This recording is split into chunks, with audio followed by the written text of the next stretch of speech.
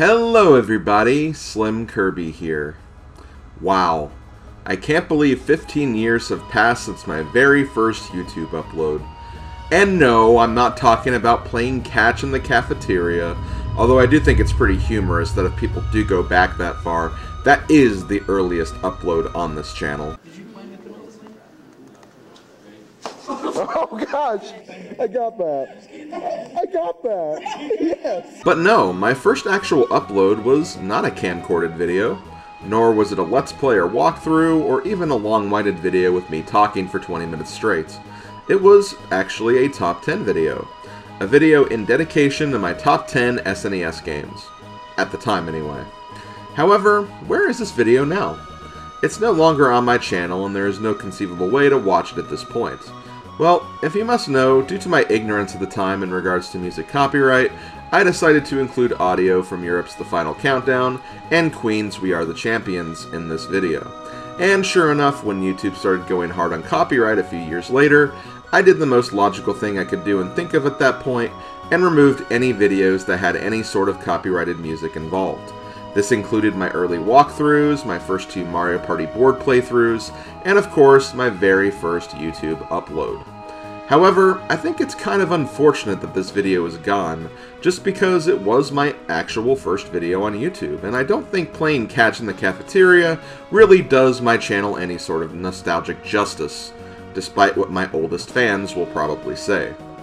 So a few years ago, I came up with the idea of redoing my very first YouTube upload, just so I could get it back on my channel in some form and have that bit of Slim Kirby history represented in a visual format. However, instead of a simple redo, since I have played a lot more SNES games since July 4th, 2007, I figured why not just update the list in general, since not only have my opinions changed over time, I'll also more than likely have some new additions to the list as well. And since I'm doing this on my 15th year anniversary, let's just upgrade this list to a top 15 as well. So today, I present to you guys Slim Kirby's Top 15 SNES games. As usual, this list is completely based on my own personal opinion, meaning that I will more than likely not see eye to eye with you guys on every single individual game and possible ranking involved. And that's fine. If you guys would like to share your own top 15s or top 10s, be my guest and leave a comment below. Just don't take it personally if your goaded game isn't at or close to my number one position or even on the list at all. We're all going to see things differently and have different opinions. So, without further ado, let's get the list started.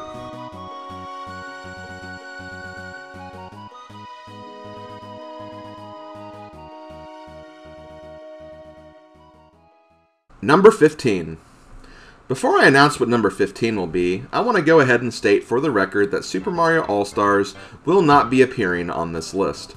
While I do really love the game, and while I do think it's the greatest SNES compilation piece, all four games included are technically NES games with updated graphics and built-in save systems. It's a great game for sure, but probably shouldn't qualify for this list. So instead, let's focus on an original Mario game for the slot with Super Mario Kart. Ah, Super Mario Kart, the very first Mario Kart game. What a journey this series has been on over the years, huh?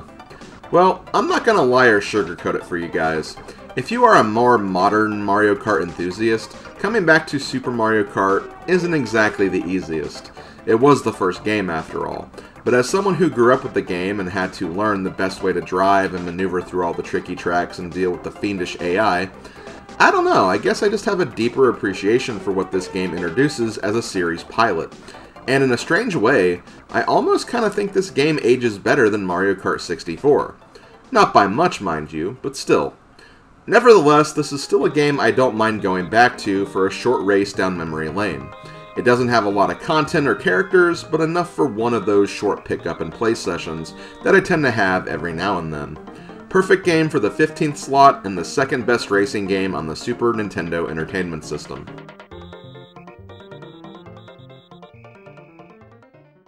Number 14. Yes, you heard me right at the end there. I said second best racing game on the SNES. If Super Mario Kart is my second favorite, what just so happens to be my first favorite?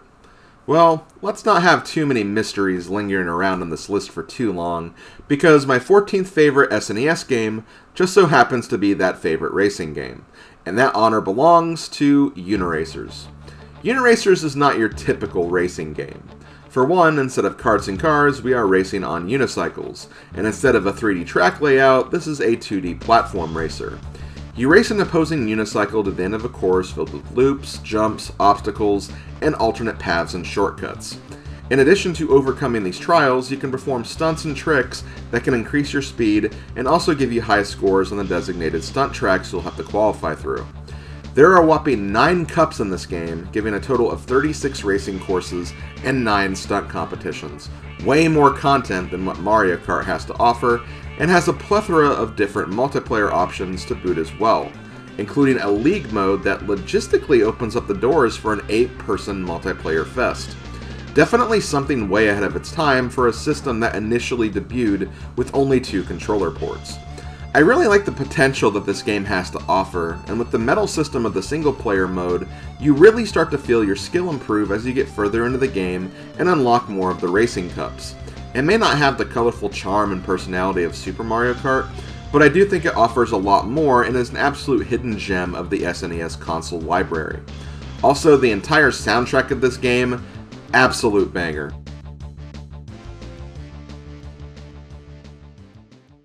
Number 13.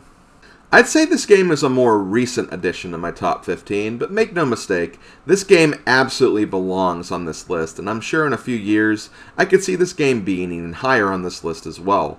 But 13th place goes to Mega Man X. Make no mistake, the Mega Man series on the NES is an absolute classic series, and even the 7th game on the SNES was fine for what it was. However, Capcom went hard with this title, and gave Mega Man a hardcore upgrade, and that upgrade made the classic gameplay even better. It still plays like Mega Man, but it has so much more going for it. A dash move, a wall cling, even more cool weapons and upgrades, a charge shot variation for each of those weapons, bigger and cooler bosses. This game absolutely rocks. And no, I'm not talking about the music either, but while I'm on the subject, damn, this soundtrack is good. Now, I'll admit, at the time of me recording this, I've still yet to play Mega Man X2 and X3, so you will not see those games on this list. However, I did play Mega Man X4 last year and thought it was a really fun experience, so I expect the other two games to be a nice treat as well. If those games manage to crack into this list though, well, that's future Slim Kirby's problem.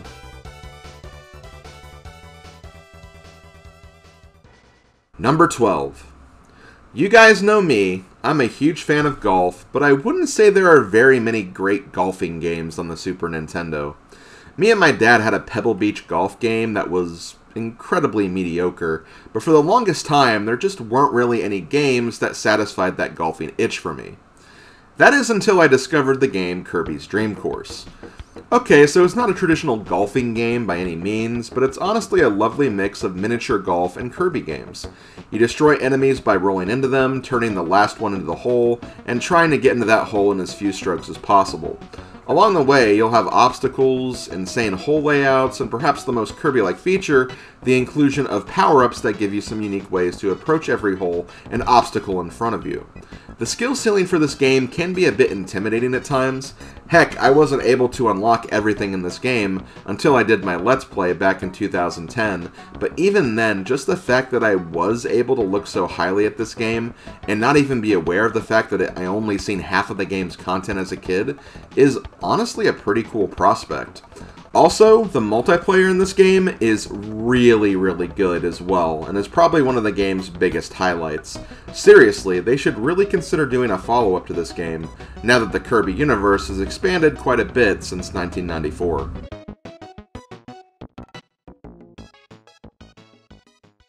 Number 11. Coming in at just below the top 10 is the third game in a highly beloved series known as Donkey Kong Country, with Donkey Kong Country 3 Dixie's Double Trouble.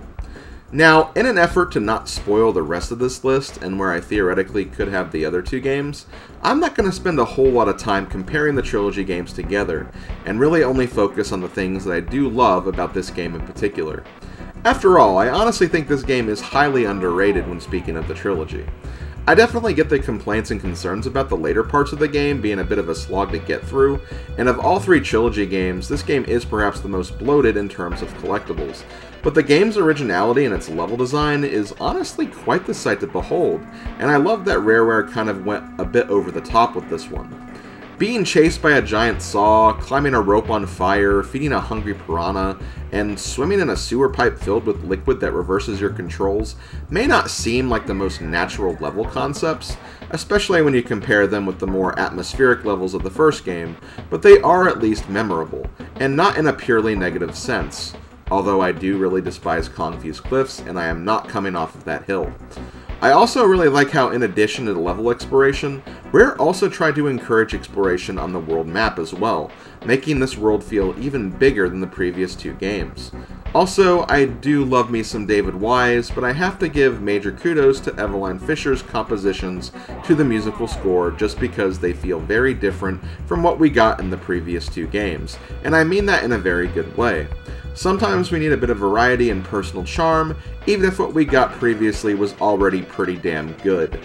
DKC3 shows us that it can be a little quirky and different in its presentation, and still deliver a knockout punch for the trilogy as a whole.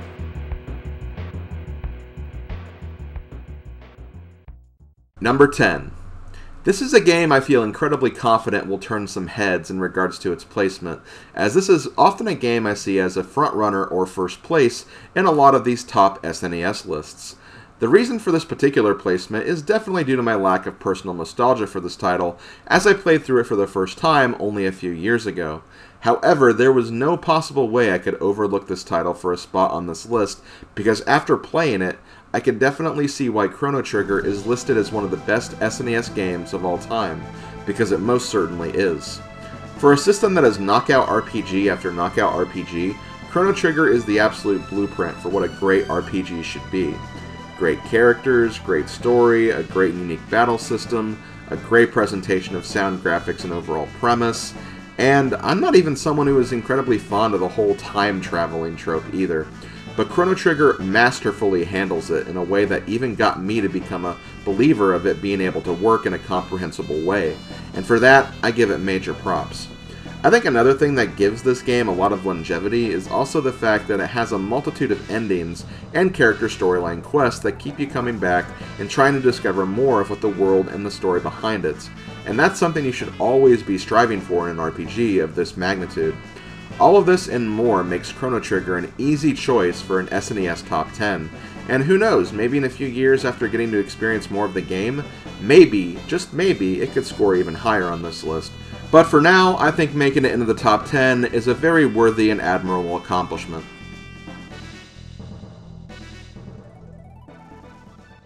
Number 9. There's a rumble in the jungle, and it's Donkey Kong Country. Yeah, I think it's no surprise that there is more than just one DKC game on this list, just because, let's face it, Rareware knew what they were doing with this series. Platformers like Mario, when it came to their level design, were fairly straightforward with maybe a few secret areas and power-ups along the way, to reward those who may be curious about a certain block or pipe placement. While you could say the same thing about the DKC bonus areas, with a built-in game percentage tracker, I'd almost say Rare was a lot more encouraging about discovering these secrets, giving players a reason to continually enter and re-enter levels until that exclamation point showed at the end of the level name on the map screen to show that they had looked through everything there was to explore and find all the bonus areas in that particular level. And even if that level exploration isn't your cup of tea, and trust me, there are some secrets in this game that could warrant that resignation, you could also just beat the game normally and not really miss out on any content, which is smart from a game design perspective since it doesn't alienate any of its players based on their level of perfectionism. With a great atmosphere of soundtrack, truly impressive visuals for its time, which I think still stand out today, and a game that offers a solid but very fair challenge from the very beginning to the very end, Donkey Kong Country is a game that will forever stand its ground as a foundation for an excellent SNES game and series.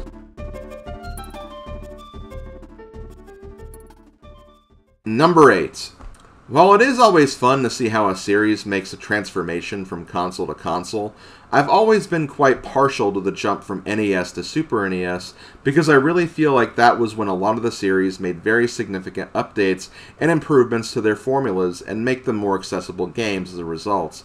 And this factor is definitely true of Samus Aran's venture on the SNES in the form of Super Metroid, the third game in Metroid's initial timeline. In addition to being a follow up with updated graphics, new items and boss fights, and expanded lore for its universe and characters, Super Metroid included perhaps the biggest quality of life addition in the form of an in game map.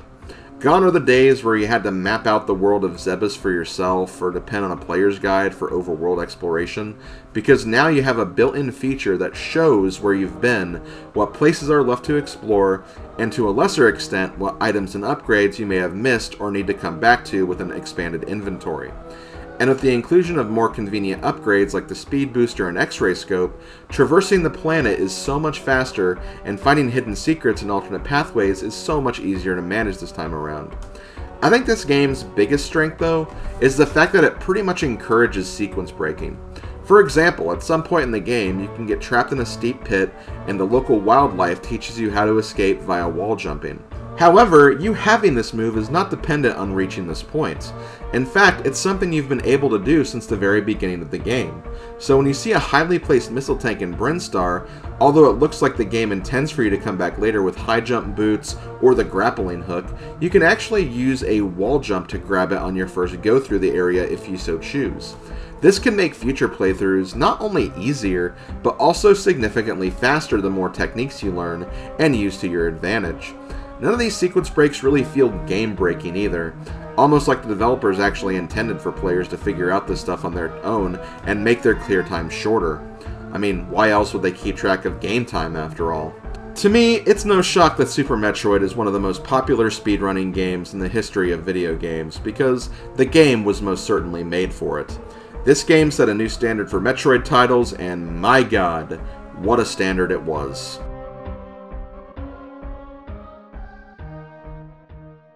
Number 7.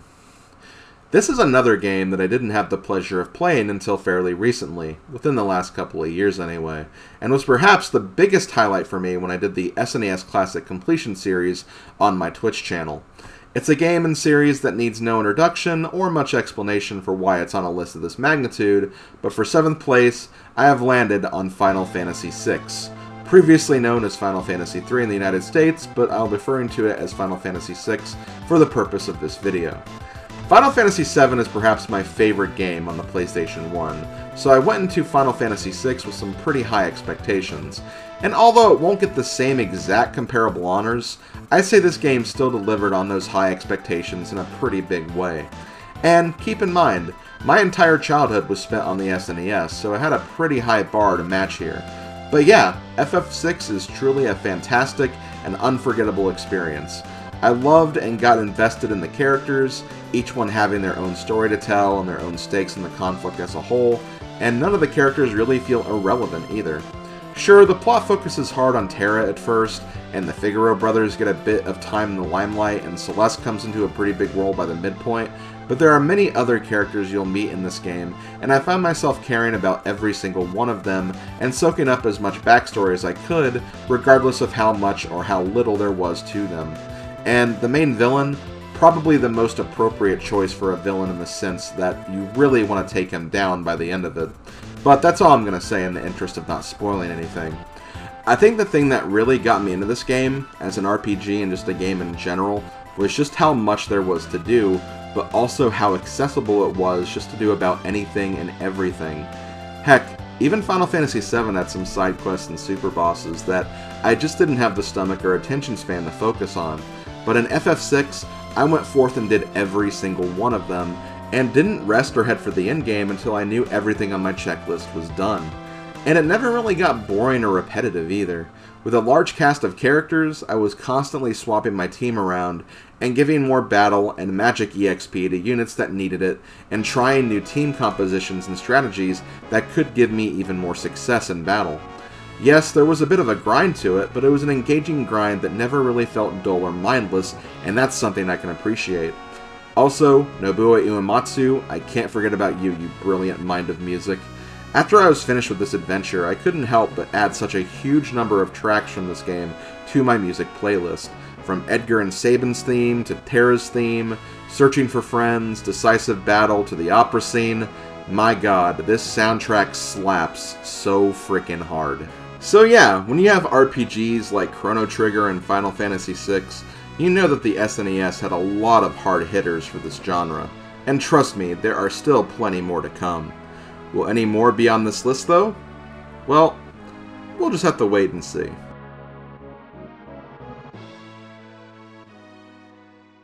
Number 6. I don't mean to babysit you guys here with this next choice, but the next slot is a game that needs no introduction on my channel, as I've played through it a number of times for you guys. Although, you could probably say that for a number of SNES games on my channel. Still though, clocking in at number 6, just below the top 5, we have Super Mario World 2 Yoshi's Island. That's right, Baby Mario's crying might be annoying, but it's not annoying enough to hold back any sort of praise with this title. This is a game that has always just jived very well with me, and much like Donkey Kong Country before it, it's a game that you can enjoy just by playing through it casually, or if you're a perfectionist like myself, you can take the challenge of getting 100 points on every level and going the extra mile with it. I know that some people may not be bothered to take on that perfectionist challenge, and that's fair. Scouting every level for every red coin and flower, and mitigating as many hits as possible so you don't lose stars, can seem like a bit of a chore at times. But with how lively and colorful this world is, it's hard not to love the adventure and exploration gained from the extra time that's potentially spent here, and I'm fine with that time investment. It's also just fun looking at the world of Mario from a different time. Yeah, you'll see a lot of similar characters and enemies, but you'll also see plenty of new ones and different variations of enemies we are familiar with. Also, I just really love the sprite work and the backgrounds in this game. It looks absolutely stunning, and the musical presentation is pretty solid as well. Even I made a song off of the Flower Garden theme when I did my Let's Play all those years ago. But yeah, even though this game didn't quite make the top 5 in this list, it still pretty much feels like a top 5 game for me, and I could honestly see the same with a lot of the other titles below this as well. There's just 5 other games that I think really, really hit it out of the park for me, and we're going to be talking about those next.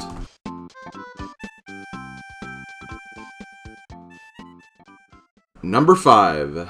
Some of you may have seen this one coming based on how the list has been going so far, but maybe not as high as top 5 honors are concerned. However, I can say for absolute certainty that when it comes to Donkey Kong Country 2, Diddy's Conquest, these honors are more than well deserved. What sets DKC 2 apart from DKC 1 and DKC 3? Honestly, not much, but the best way I can describe it is that this game encapsulates what made the original game so great, while also improving on and intensifying the formula, but also having some form of control over its content and not going overboard with some aspects of its level design, something that can and has been seen as a problem from the trilogy's finale. In other words, I think it's the most balanced of the three games, striking that harmonious combination of the first game's atmospheric exploration, while also having that unique and personal charm, something I think the third game did quite well. So in a way, I think Diddy's Conquest excels at both. Another way you could look at it is that DKC-1 was the palate cleanser and or appetizer, DKC-2 is the main course, and DKC-3 is the sweet dessert. I don't 100% see eye to eye with this analogy though, because honestly, all three games are main course worthy. I mean, they're all in the top 15 for crying out loud, and I've played all three of these games pretty regularly since the first game released in 1994. However, from me playing all of these games multiple times for so very long, I will admit that as I look at all three games individually, the second one just always seems to stand out the most for me, and I think that's why I have it not only the highest, but also in the top 5. From its adventurous pirate thematics, to its challenging but engaging difficulty, to its excellent platforming and boss fights, and I would be an absolute fool not to even mention the music. Hands down, of all the games you see on this list, DKC2 might just have the best soundtrack on the entire SNES library. David Wise was an absolute legend when he composed this game, and I'll be real with you, if someone ever asked me what my favorite song is from this game, well, you're not getting a single answer from me. In fact, you're probably just going to get a comprehensive list of every song in the game, because you cannot pick an absolute best from this list. Stickerbush Symphony, Forest Interlude, Snowbound Land, Crocodile Cacophony, Lockjaw Saga, Bayou Boogie, Hothead Bop, Mining Melancholy. See, I'm doing it right now.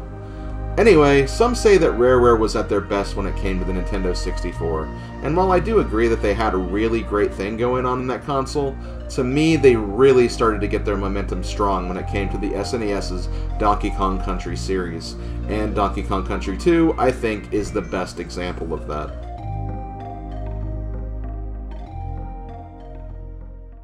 Number 4. I think for every series or genre of game, there's always going to be that one game that cements yourself as a fan of that series, or that particular genre. And for me, number 4 is the perfect example of that, because not only did this game cement me as a fan of the series, but in an indirect way, it kind of just led me to creating my future online username. Kirby Superstar is the game taking the number 4 spot on this list. And yeah, if you couldn't tell, this game is and will always be my favorite Kirby game. I mean, why else would I have chosen this game to be my very first walkthrough back in 2007 when I started my YouTube channel? Anyway, let's get down to business here. Why is this considered to be my Kirby game, or to be more precise, why is this so high on my list of top SNES games? From the look of it, when you compare it with other Kirby games from its time, it may not seem like anything too special. You swallow enemies, you get their powers, and you use them to defeat any enemies and bosses in your way until you get to the end of the game. However, in most of these other games, the abilities themselves would only give you a one-button, one-function power or attack. In Superstar, they actually give the power-ups a little more than that, making each copy ability feel like something you could feasibly take along with you for the long haul if you so wanted. Of course you never do, because the powers are so interesting that as soon as you see a new one pop up later, you can't help but switch it out and give that one a go instead. But still, I think my point pretty much stands. The power-ups in this game are really, really fun to use. Even a seemingly somewhat simple one like Beam is more than just a diagonal whip attack in front of Kirby like it's been in other games, but you can also use it defensively from the back to charge up a super powerful Beam Blast, or put the pressure on your foes in front of you by doing a downwards aerial projectile attack while closing in with a strong burst of static orbs if your foes survive the onslaught. Everything just feels so much more developed in this game when you compare it with not only what came before it, but also a few games that came afterwards as well. Gone are the days where fire is just a fireball, or cutter is just a single cutter blade you throw. There's way more personality and utility, which makes it a more fun experience. And you know what else makes it a more fun experience? Having a buddy join alongside you. And no, I'm not just talking about the computer AI that can join you and die every 5 seconds, but if you have another person joining for the ride, you can actually add them to the action as well on the second controller, making this incredibly fun single-player game also an exciting cooperative multiplayer experience as well. And the fact that you can both have two different power-ups, allowing you to mix and match and have different uh, battle strategies for boss fights, just makes the experience more interesting and different each time you play the game, especially if you play with different people who have different favorite copy abilities. The last thing I want to mention in regards to this game and how much it has going for it is the fact that this is not just a simple Kirby game, but rather seven different Kirby games in one. Sure, I wouldn't say any of the individual games are long enough to warrant being their own SNES game or anything. I mean, Spring Breeze is already just a shorter version of Kirby's Dream Land for the Game Boy as it is, but each mode has its own charm and feel going for it. As I mentioned before, Spring Breeze is an easy nostalgic callback, a game that won't take you very long to complete, but give you enough of a taste for wanting a bit more. Dynablade, although still easy, gets you more familiar with the new mechanics and power-ups you'll be working with. The Great Cave Offensive, perhaps the mode you'll be spending the most time with, will really test your perfectionist puzzle-solving treasure hunting intuitions as you literally scan the entire area looking for treasure and trying to solve all the puzzles that the game has to offer. Revenge of Meta Knight gives you a sense of urgency as a deadly group of warriors led by Meta Knight try to lead an assault on Dreamland while Kirby must infiltrate the battleship Halberd and put an end to Meta Knight's dastardly deeds. There's Gourmet Race, and eating racing minigame. And then the game culminates with the finale, known as Milky Way Wishes. While on the surface doesn't seem too out of the ordinary in terms of general progression, it does mix up things a bit by taking away Kirby's ability to swallow enemies for their powers, but offers a more permanent solution if you can locate those abilities in another way adding a challenge by removing a convenience, but giving a more permanent solution if you are insightful enough. And then, once you beat that, you are introduced to the first inclusion of the Kirby series Arena. And sure, other Kirby games have had boss endurances before, but this is the first time I feel like they got the boss endurance right, making it less about turning every boss into a no-hit challenge, but more about picking the right power-up for each boss fight and saving your healing items when you think you need them the most. And the order is also mostly randomized, so each run will feel relatively different as well. And these reasons alone pretty much explain why most modern Kirby games use this format for the arena. And if all these modes still aren't enough for you, there are two additional minigames on top of this, showing that this game really doesn't know when to stop when it comes to content, and I'm all for that. Sure, even with all this substance, Kirby Superstar is still probably not the longest game on this list, Heck, even Super Mario World 2 and Donkey Kong Country 2 might take me a bit longer in a 100% context, but since it does offer the variety that it does, you never really feel like you come out of the experience feeling still hungry or too stuffed. It's just the right amount of content for a really solid gaming experience. Also, the game looks and sounds great and feels really great to play as well. A perfect candidate for 4th place.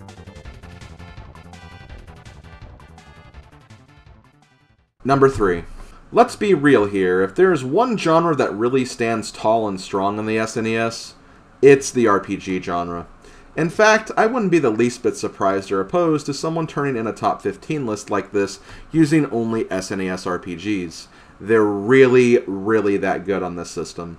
And look, I know we haven't seen too many on this particular list, but as you guys know, I'm rather fond and big of the platformer genre too, and probably lean more towards that due to simplicity. However, I am still quite fond of RPGs, and I've played a great number of them over the years, each with their own unique battle systems and deep storylines.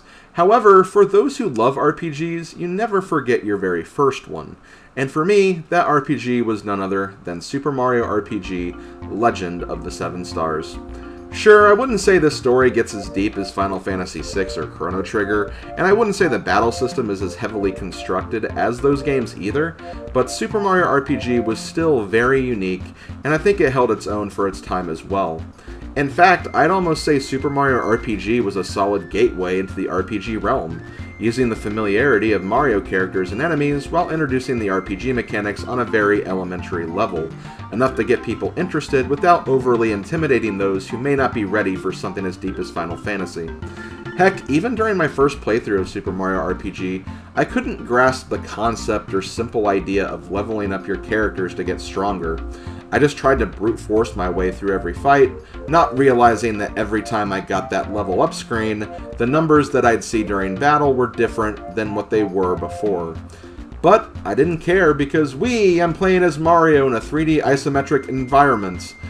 Over time, though, when I did start grasping the concept of an RPG and the game's fundamental mechanics, the experience definitely got a lot more engaging for me. Every new playthrough led to a new discovery, whether it was a hidden item or weapon I never found before, a new strategy that completely wrecked a boss that I used to have trouble with. Heck, even during my SNES Classic Completion playthrough, I did a run where the only move I used with Mario was his jump attack, just to watch the power of that special move increase to ludicrous amounts throughout the game, since every time you use that move, it gets stronger over time. And when an RPG, a genre that tends to last a lot longer than a traditional platformer, encourages and welcomes that amount of replayability, I think that's something to take notice of. Super Mario RPG may not be my favorite Mario RPG title, that honor does and will always belong to Paper Mario on the N64, at least in my eyes, but you can't deny the effect that this game has had on not only the creation of that series, but also the Mario and Luigi series as well. Not just because the portly plumber is the main hero in the box art, but because both of those games heavily rely on the concept of timed hits and action commands during battle, something that was very well established here in Super Mario RPG.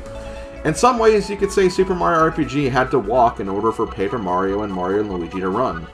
To me, I wouldn't even simplify it to that degree because Super Mario RPG definitely doesn't just walk. If anything, it runs just along with them, and it kind of stands on its own pedestal for being such a perfect blend of Mario and Final Fantasy. Some of the characters, enemies, and bosses you see in this game don't really fit that traditional Mario mold, but that's why they're so interesting and intriguing to me. As a kid, I thought the character Geno was really, really cool, and I even had a blue shirt that I used to call my Geno shirt. And you know, even I'll admit that Geno probably isn't the most logical character to get representation in Super Smash Bros., but because of my history with the character in this game, you won't see me opposing his inclusion if he did manage to make it in the roster. It just shows that this game has a special place in a lot of people's hearts, much like its own placement in mine. So yeah, while Final Fantasy VI and Chrono Trigger have a lot going for them and are truly masterpieces in their own right, without the masterpiece of Super Mario RPG, I don't know when or if I would have ever experienced any of these other SNES classic titles. It's an amazing game with engaging gameplay and characters, incredibly catchy music, a charming script with hilarious dialogue, and a tremendous heart and spirit that any gamer would be proud of to have in their gaming collection. Also, why the hell is this game not on Switch's SNES Online service? I mean, come on, seriously. What the Number 2. We have reached the final two games on this list, so as you might expect, these games are both heavy hitters in their own rights. And let's be real, most of you are probably aware of what these two finalists are, just based on my previous speeches and my own personal actions. So let's not hold our suspense any longer and say hello to our runner up, The Legend of Zelda A Link to the Past. Now, I know what you're all thinking. Slim, this is only up here because of Randomizer, isn't it? While it may be true that I have enjoyed the occasional hundreds of Randomizer playthroughs I've done over the past five years, let me be frank with my words here that Link to the Past Randomizer couldn't be as good as it is without the original game being as good as it is. And let me tell you, Link to the Past doesn't need me to defend its place in not just SNES greatness, but also in all-time video game greatness as well. But since that's kind of the point of this list, I think I can still rap about it for a bit. In much of the same vein as I mentioned earlier with Super Metroid, Link to the Past got a lot of the same treatment here, being a definitive upgrade of what came previously. Now, I'm not saying this to put the original Legend of Zelda down or anything, if anything, I think Zelda NES aged better than Metroid NES, if I'm being quite honest. But perhaps upgrade isn't the best word to use. Maybe evolution is the better term to be used. The world is more detailed and defined, the people and characters are more direct and meaningful, the combat feels more fluid, and the items have more utility and purpose. You enter a cave and find an old man, and instead of him mentioning a very vague location that might have a secret of some kind, you get some lore and a better indication of something valuable you might find there that you could use on your journey. So while some could make the argument that the original Zelda had a bigger world to explore, I'd argue that Link to the Past has a deeper world to explore, giving value to every acre of the world in both the light and dark world no less. And with an expanded inventory, one that features more than just the standard upgrades to Link's already famous arsenal, it's hard not to get pumped with this brand new repertoire of tools and trinkets. This game alone introduced two of my favorite Zelda items, the Cane of Somaria, a magic item that has puzzle utility, but can also be used for some decently ranged magic attacks, and perhaps one of Link's most renowned tools, the Hookshot, a lengthy chain that can pull you towards unreachable ledges, but can also be used to stun some of the more obnoxious and rambunctious enemies you'll have to contend with. Even the dungeons themselves get more definitive upgrades in this evolution. Sure, they may not be as puzzle-centric as some of the more modern 3D Zelda titles, but each dungeon feels unique and has its own theme going for it. Whether you're exploring all the different crypts of Skull Woods looking for the right keys and path to the boss, or trudging through the waters of Swamp Palace to find the right flood switches. Each dungeon is its own adventure and has its own identity, something that can't really be said for its predecessor. Again, not to put the predecessor down or anything, all video games have to start somewhere, and Zelda 1 had a phenomenal start, no question about it. But Link to the Past had that charm that has stuck with me from the very first time I completed it, to even after my 200th randomizer playthrough, and I think that says a lot for how great this game really is. Heck, another one of the more unobvious factors I appreciate about this game is actually how surprisingly non-linear the game can be around the midway point. Yeah, the game does kind of railroad you through the first couple of dungeons, but once you make it through the first Dark World dungeon, you actually have a bit of a choice for how you want to proceed through the following sections. You can continue going in the sequential crystal order, or you can move ahead to crystal number 3 or 4 if the mood fits you. In fact, the boss of Crystal Dungeon 3 is probably one of the hardest bosses to take on casually for the first time, but if you fully complete Crystal Dungeon 4 and get the dungeon item, you can actually get access to an upgrade that'll make the boss of Dungeon 3 significantly easier. Fully embracing that notion I love about exploration games, where the more you explore and experiment with, the more you can potentially get rewarded with your own individual persistence. Not only do I find that particularly cool about these types of games, but this is also the reason why I think Link to the Past Randomizer is such a great randomizer, because the game itself was built and structured well enough to support those randomizer options. Many, many years ago, I honestly would have never put two and two together about The Legend of Zelda A Link to the Past. In fact, 15 years ago, when I made this list before, I don't think this game was even in my top 5, but it just goes to show you that over time, taste can most certainly change, and sometimes it takes something like a randomizer to see the potential for how truly amazing and special a game truly is.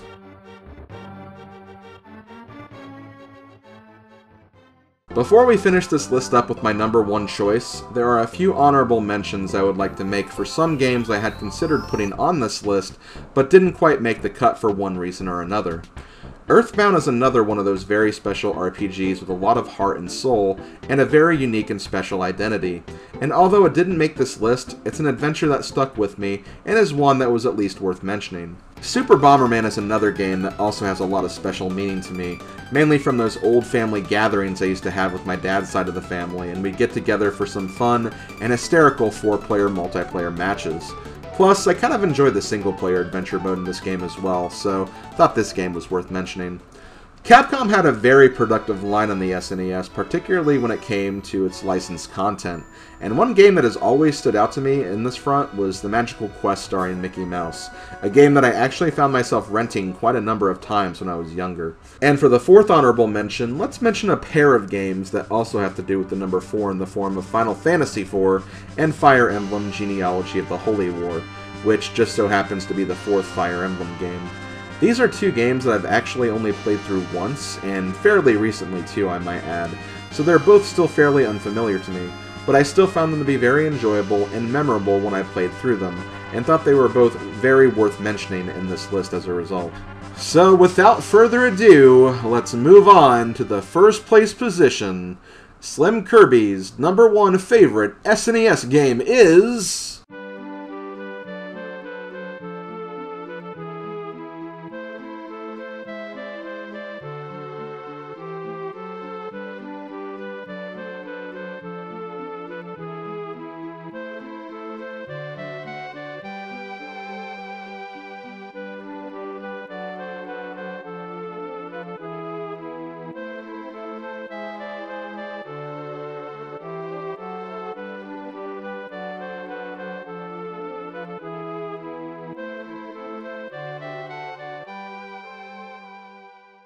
Okay, I may have had one more honorable mention. Come on, guys. I couldn't have gone this entire list without mentioning something in regards to Pieces. So yeah, I know the joke, Pieces, Game of the Year, yada yada yada, Slim Kirby has to mention his meme game in some form. But I have to be honest here, I do really, really love this game. And I did honestly consider putting it on this list, because it is truly the reason why I love video games so much because no matter the theme or concept, anything can work as a video game as long as it has some real substance behind it. And the substance here is, well, it's a jigsaw puzzle simulator. And just so you know, I love jigsaw puzzles, so it's no wonder this game caught my eye so easily when I first saw it. Much in the same way that Mario Party caught my eye when I first saw it, because, well, I love board games too. Anyway, with a short single-player campaign where you race computer AI to finish sets of jigsaw puzzles, a one versus one multiplayer mode, and a very casual single-player and multiplayer mode where you can just sit back, relax, and do themed jigsaw puzzles at your own leisure, I'd say there is actually some good content here that is worth experiencing, or even coming back to if you've played this game before. So yeah, Pieces, it's not just a Joker meme game. I honestly think it's a really, genuinely good game, and those who have played it definitely know where I'm coming from. It may be a very simple concept, but it's still a lot of fun, and a game that I think is worth talking about. Number 1. Okay guys, let's actually get back to business here and talk about my favorite SNES game. I'm sure to many, or at least most, this choice will not come as a surprise to anyone here. It's Super Mario World. I know, that's not very suspenseful, but I've talked very positively about this game many times in the past, and it's a game that really doesn't need any sort of fancy introduction either. To many, this was their first SNES game, and it was most definitely mine as well, but more than that, this was also my very first video game. And I'm sure you guys are coming at me with your you're just blind and or wearing nostalgia goggles comments, and I'll be real, there is no escaping the nostalgia for me on this one. But in a case like this, I think we need to think realistically here. You are never going to forget your first definitive video gaming moment.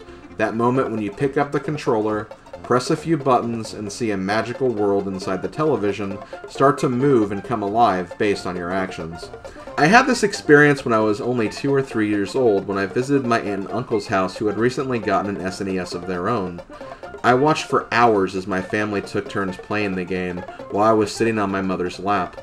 At one point I asked if I could try the game as well, and instead of giving me the obvious, no way, you're too young response, my family decided to approach the scenario in a different way, handing me a controller and letting my imagination run wild. Of course, I had no idea that the controller I was given was not hooked up to anything, so my button inputs weren't doing a single thing, while another family member secretly controlled the active controller from the sidelines. Cut me some slack, I was still trying to perfect my ability to walk and talk at this point in my life. I don't think my brain was quite ready for basic electronic troubleshooting just yet. After several months of this charade, literally my aunt and father decided it was time to actually throw caution to the wind and allow me to start playing the actual game. And from my understanding, I didn't actually do too bad. I had a few deaths for sure. I mean, everyone has a bit of trouble going from training wheels to no training wheels when learning how to ride a bike, but just from what I had observed from earlier sessions, I knew what to expect and had a general idea of the typical movement behavior from observing others play. So before I knew it, I was not dying as much and could actually beat or make significant progress through quite a number of the early game levels. About a year later, in the Christmas of 1992, my parents decided to get me my own SNES and my own copy of Super Mario World, and from that point on, my journey as a gamer officially began. Super Mario World was most likely the first video game I'd ever beaten, and although I don't have too much of a frame of mind for when that happened or how long it took, it was still a momentous occasion for me, and the first time I saw the princess fall down from that Koopa clown car at the end of the game had to have been my first big gaming victory. Over the years, as I got new games and tried new series and even inherited my dad's Game Boy, my library and gaming resume started to expand. But Super Mario World was always there to be that comfort title of mine. That game I would go back to if I kept getting game overs in Donkey Kong Country and Link to the Past, just because I had beaten the game before and I knew I could get a victory. Eventually, it got to a point where I noticed that some parts of the world map stood out more than others, and that allowed me to discover the notion of secret exits and finding every secret level and shortcut throughout the game. And that developed into my completionist nature when it comes to gaming just so I have the pleasure of experiencing every single bit of the game that the developers intended for Discovery. And nowadays, due to my experience and longevity with this title, a 100% 96 exit playthrough is pretty much the standard for me, and it's not too out of the realm of possibility for me to complete the task in a very short, rounded down 2 hour time frame. It's no world record time by any means, but my younger self would probably be blown away by such an accomplishment, considering by that game time back then, I was probably only just making it to the Forest of Illusion. And keep in mind, I'm not even talking about 100% here either. I think what gives Super Mario World the edge for me is just how accessible it is as a video game. It controls very well, and movement feels very fluid and smooth. Gone are the days of Super Mario Bros. where jumping can feel a little off at times, whether it's from the type of tricky jumps the developers ask you to make in some of the harder levels, or just the general feel of making a jump and feeling like you have to commit to it, since pulling back will completely nullify any momentum you had and causing you to sink straight down. Here it just feels like you have full control over Mario, and if you need to set up a tricky maneuver, you have plenty of time to do so, even with a bad false start. Plus, you even have some great power-ups and items that can help you out and make platforming less scary and tedious. Getting to those power-ups, while I do think Super Mario Bros. 3 offers a greater variety of new power-ups and forms, I think Super Mario World does just fine with the few that it does have at its disposal, which is really just Fire Mario, Cape Mario, and Yoshi. Some would consider the latter two power-ups to be incredibly broken, though, with Cape Mario giving you a lot of safety during platforming sections, and just the general ability to fly over everything if you know how to use it, and Yoshi offering not only an extra hit and some flying capabilities, but also an extra higher jump if you are about to fall to your doom, or to reach a higher area through an unconventional means.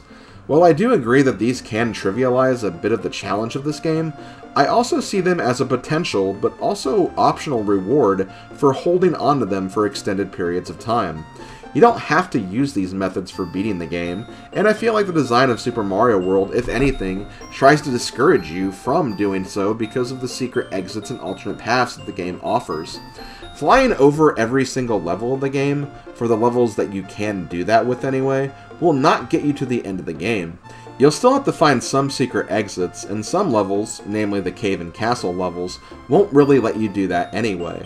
Plus, I don't know about you guys, but even during those stages where I just so happen to be flying high in the sky, I still can't help but take a dip down every now and then just to see what's going on and play the stage normally anyway.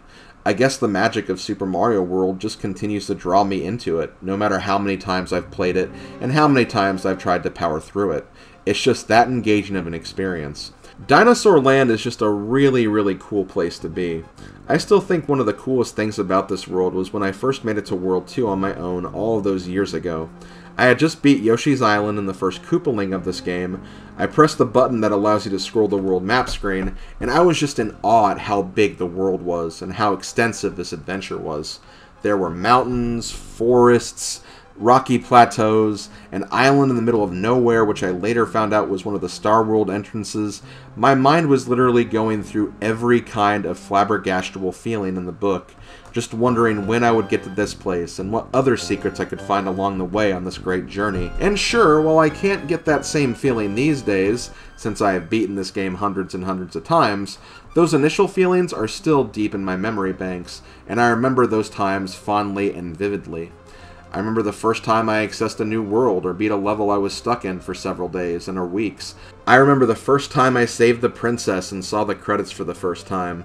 I remember the first time I beat the special world and the color of the entire world changed, along with even some of the enemy designs. So many memories have been made with this game, and even to this day, I still feel like I'm making new ones. I remember going over to Madame Wario's apartment one day when she wasn't feeling well, and she asked me if I could play through the game while she watched. I did so, and that was the first time I ever beat the Special World without dying. I remember running the game for a small community marathon for the speed gamers and having to drastically change my route to get to a save point because my computer was trying to install an update during the run. I remember streaming a Super Mario World randomizer seed for one of my anniversary streams and getting a 10,000 bit donation during it. I have 100% in Super Mario World's retro achievement set on two different occasions. I've done challenge runs of the game where I try to collect all the dragon coins and 3 up moons called Lunar Dragon Runs. I've played through the game trying not to collect any power ups and staying as Small Mario. Done a couple of co op runs with my friends on Switch Online. I've played through this game so many times and continue to get so much out of this game, so much more than I ever thought possible, and almost to the point where I should have gotten everything out of this game by now but I just can't put it down or out of my mind. And even speaking so fondly of this game now, it's making me want to play it all over again. How could this game not be my favorite SNES game? A game that's done so much for me, not only as a gamer, but also as a human being. I love this game, and I always will. And I'll tell you guys this right now. If I ever retire from YouTube in the future, the last thing I'm going to do on this channel is do another playthrough of Super Mario World. Because not only did that game start my wonderful life as a gamer, I can't think of a better game to conclude my wonderful life as a YouTuber. But that's for a much different and hopefully not too soon time. And ladies and gentlemen, that is why Super Mario World is my number one favorite SNES game.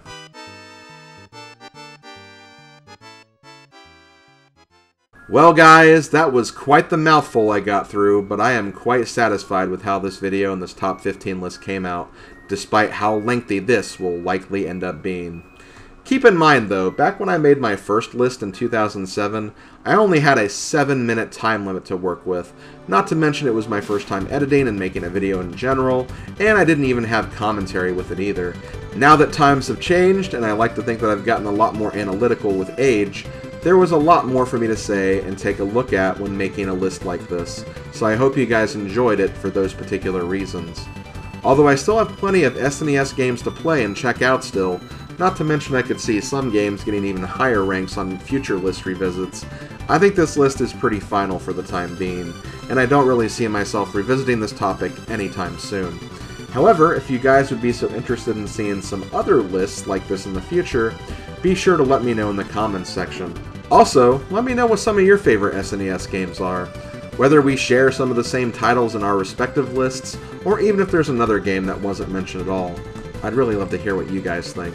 Well everyone, we've come a long way in 15 years of YouTube, and I look forward to seeing what the future will hold on here, and just in gaming in general. Thank you all for your continued support and following me here for as long as you have, and I'll see you guys in the next video. Later, folks.